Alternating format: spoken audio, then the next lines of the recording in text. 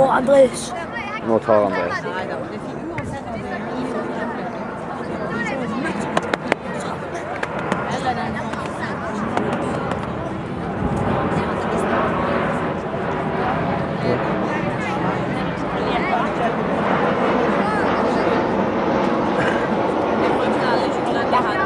Vil han ta det?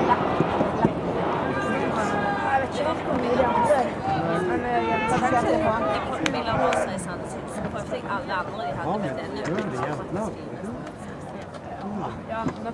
Jakob, hvor er Sandnes egentlig? Jeg føler følger ikke at med.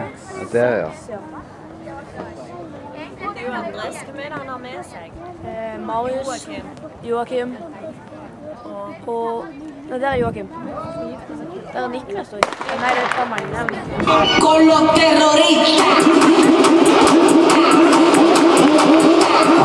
Sandnes blir her. Eh, Flott start. Marius Bakke Sørli er i teten, men nå kommer Bull bakfra og har større fart. Samme har Gular, men eh, ja, det var en kanonveksling på Gular der nede. Men eh, Sandnes eh, er i tet. Kommer Bull sterkt, men Sandnes holder teten her. Ut på siste etappe så gjelder det vekslingene her, da. Det er Osman Toray mot eh, Joakim Sandberg. Sandnes foran Bull. Og det er en meget sterk tid. 41-38. Strålende løft av Sandnes. Ja, det var moro.